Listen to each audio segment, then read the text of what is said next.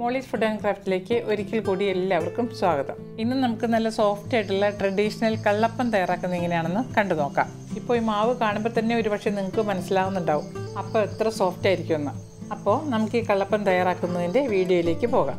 അപ്പോൾ ട്രഡീഷണൽ ആയിട്ടുള്ള ഈ ഒരു അപ്പം തയ്യാറാക്കുന്നതിനായിട്ട് നമുക്ക് ആദ്യം ഒരു ബൗളിലേക്ക് രണ്ട് കപ്പ് ഉണക്കലരി ഇട്ട് കൊടുക്കാം. ഇത് ഇരുന്നൂറ്റമ്പത് എം എല്ലിന്റെ കപ്പാണ് അര കിലോ അരിയാണ് ഞാനിവിടെ എടുത്തിരിക്കുന്നത്. ഈ അരി നമുക്ക് സൂപ്പർ മാർക്കറ്റുകളിലും ഷോപ്പുകളിലും ഒക്കെ വാങ്ങാൻ കിട്ടും. ഉണക്കലരിയാണിത്.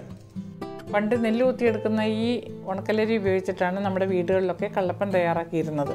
അപ്പോൾ നമുക്കിന്ന് ഈ ക്രിസ്മസിനോടനുബന്ധിച്ച് ഈ ഉണക്കലരി കൊണ്ട് ഒരു കള്ളപ്പം തയ്യാറാക്കാം. ആദ്യം നമുക്ക് ഇതിലേക്ക് കുറച്ച് നേർക്ക വെള്ളം ഒഴിച്ച് ഒന്ന് അല്പസമയം ഒന്ന് മാറ്റി വയ്ക്കാം. ഇത് നന്നായി കഴുകിയെടുത്ത ശേഷം നമുക്ക് വീണ്ടും കുതിർക്കാനായിട്ട് മാറ്റി വയ്ക്കാം. ഇവിടെ നന്നായി കഴുകിയെടുത്ത അരി ഞാനൊരു മറ്റൊരു ബൗളിലേക്ക് മാറ്റിയിട്ടുണ്ട്. ഇത് കുതിർത്തിയെടുക്കുന്നതിന് ഞാനിവിടെ ചൂടുവെള്ളമാണ് ഒഴിച്ചു കൊടുക്കുന്നത്. നമ്മുടെ കൈ ഇങ്ങനെ തൊട്ടാൽ ചൂടറിയുന്ന പരുവത്തിലുള്ള ചൂടുവെള്ളം ഒഴിച്ചു കൊടുക്കാം. ഇനി ഇതൊരു നാലഞ്ച് മണിക്കൂർ സമയം കുതിർക്കാനായിട്ട് നമുക്ക് മാറ്റി വയ്ക്കാം. നമ്മൾ അരി ഇതുപോലെ ചൂടുവെള്ളം ഒഴിച്ച് കുതിർത്തുന്ന സമയത്ത് നമുക്ക് അരി പെട്ടെന്ന് കുതിർന്ന് വരാനും നല്ലതാണ്. അതുപോലെ തന്നെ നമ്മുടെ അപ്പം നല്ല സോഫ്റ്റ് ആവാനും ഇത് സഹായിക്കും. അതുകൊണ്ടാണ് ഞാനെപ്പോഴും ഇങ്ങനെയാണ് ചെയ്യാറുള്ളത്. ഇത് നമുക്കിവിടെ മാറ്റി വയ്ക്കാം പെട്ടെന്ന് ആവശ്യമുണ്ടെങ്കിൽ നമുക്കൊരു രണ്ടര മണിക്കൂർ വരെ കുതിർത്തിയെടുത്താൽ മതിയാകും. അല്ലാന്നുണ്ടെങ്കിൽ നാല് മുതൽ അഞ്ച് മണിക്കൂർ വരെ കുതിർത്തിയ ശേഷം ഇത് അരച്ചെടുക്കാവുന്നതാണ്. അപ്പോൾ അരി ഇവിടെ കുതിർക്കാൻ വെച്ചിട്ട് ഏകദേശം ഒരു അഞ്ച് മണിക്കൂറോളം ആയിട്ടുണ്ട്. നമുക്കിനി ഇത് അരച്ചെടുക്കാം ഇത് നന്നായിട്ട് കുതിർന്നു വന്നിട്ടുണ്ട്.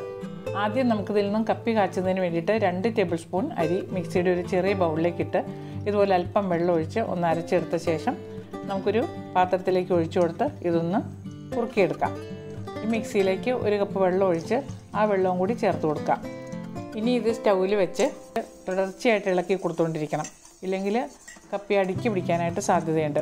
നന്നായി തിളച്ച് ഇതുപോലെ കുറുകി വരുന്ന സമയത്ത് നമുക്കിത് അടുപ്പിൽ നിന്ന് മാറ്റി തണുക്കാനായിട്ട് വെക്കാം.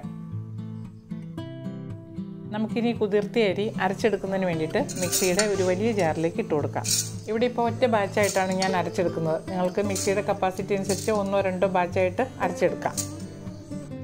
ഇനി ഇതിലേക്ക് നമുക്ക് ഒരു ടീസ്പൂൺ ചെറിയ ജീരകവും അഞ്ചല്ലി വെളുത്തുള്ളിയും കൂടി ഇട്ട് കൊടുക്കാം. അടുത്തത് നമുക്ക് കപ്പി കാച്ചിയത് ചേർത്ത് കൊടുക്കാം.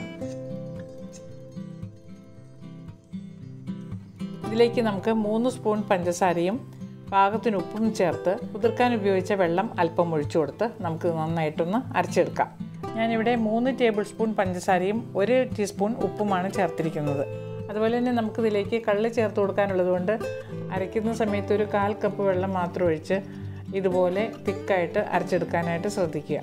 ഇനി ഇതിലേക്ക് നമുക്ക് ചരുകിയെടുത്ത ഒന്നര കപ്പ് തേങ്ങ ചേർത്ത് കൊടുത്ത് ഒന്ന് അരച്ചെടുക്കാം. കള്ളപ്പത്തിന് നമ്മൾ തേങ്ങ ചേർത്ത് അരയ്ക്കുമ്പോൾ അധികം അരഞ്ഞു പോകാതെ അല്പം തെരുതെരിപ്പോടുകൂടി ഈ ഒരു പരുവത്തിൽ വേണം അരച്ചെടുക്കാനായിട്ട്. ഇത് നമുക്കൊരു ബൗളിലേക്ക് ഒഴിച്ചു കൊടുക്കാം.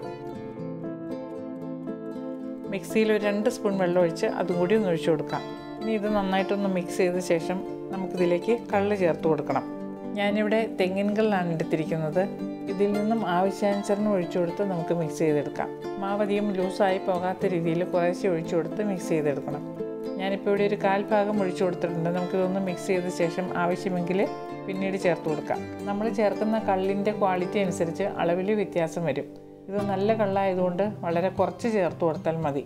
ഒരു രണ്ട് ടേബിൾ സ്പൂൺ കള്ള് കൂടി നമുക്ക് ഒഴിച്ചു കൊടുക്കാം. ഇത്രയും മതിയാകും. ഇനി നമുക്ക് നല്ലപോലെ മിക്സ് ചെയ്ത് വെക്കാം. മാവ് ഒരുപാടങ്ങ് ലൂസാകാൻ പാടില്ല. അഥവാ ഇനി മാവ് ഫെർമെന്റ് ആയി കഴിയുമ്പോൾ തിക്നെസ് കൂടുതലാണെന്ന് തോന്നുകയാണെങ്കിൽ കുറച്ച് തേങ്ങാപ്പാൽ ചേർത്ത് കൊടുത്ത് ഒന്ന് മിക്സ് ചെയ്ത് അരമണിക്കൂർ വെച്ചിരുന്ന ശേഷം ചുട്ടെടുക്കാവുന്നതാണ്. ഇവിടെ ഇപ്പോൾ കാൽ ഗ്ലാസ് കള്ള് മാത്രമേ ഞാൻ ഇതിലേക്ക് ഉപയോഗിച്ചിട്ടുള്ളൂ. ഈ ബാലൻസ് വരുന്ന കള്ള് ഫ്രിഡ്ജിൽ സൂക്ഷിച്ച് വെച്ചിരുന്നാൽ പിന്നീട് നമുക്ക് ഉപയോഗിക്കാവുന്നതാണ്. ഇനി ഇത് ഫെർമെന്റ് ആവാൻ വേണ്ടിയിട്ട് നമുക്ക് മൂടി വയ്ക്കാം ഇപ്പോൾ ഒരു നാല് മണിക്കൂർ കഴിഞ്ഞിട്ടുണ്ട്. അപ്പോഴേക്കും നമ്മുടെ മാവ് ഇവിടെ നന്നായിട്ട് പൊങ്ങി വന്നിട്ടുണ്ട്. ഇത് വീണ്ടും ഒന്ന് മിക്സ് ചെയ്ത് ഒരു പത്ത് മിനിറ്റ് സമയം കൂടി വെച്ചിരുന്നാൽ അപ്പം ഒന്നുകൂടി സോഫ്റ്റായി വരും. അപ്പോൾ നമുക്കിതൊരു പത്ത് മിനിറ്റ് സമയം മാറ്റി വയ്ക്കാം. പത്ത് മിനിറ്റ് കഴിഞ്ഞപ്പോഴേക്കും നമ്മുടെ അപ്പം വീണ്ടും നന്നായിട്ട് പൊങ്ങി വന്നിട്ടുണ്ട്. നമുക്കിനി ഇത് ചുട്ടെടുക്കാം. ഈ സമയം ഇവിടെ സ്റ്റൗവിൽ വെച്ച് ചൂടായിരിക്കുന്ന ഈ പാനിലേക്ക് നമുക്ക് മാവ് ഇതുപോലെ ഒഴിച്ചു കൊടുത്ത് ചുട്ടെടുക്കാം.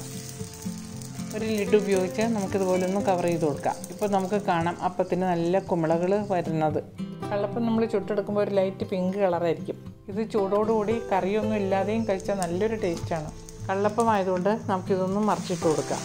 ഒരു രണ്ട് സെക്കൻഡ് സമയം ഇതൊന്ന് മറിച്ചിട്ട് കൊടുത്താൽ മതിയാകും.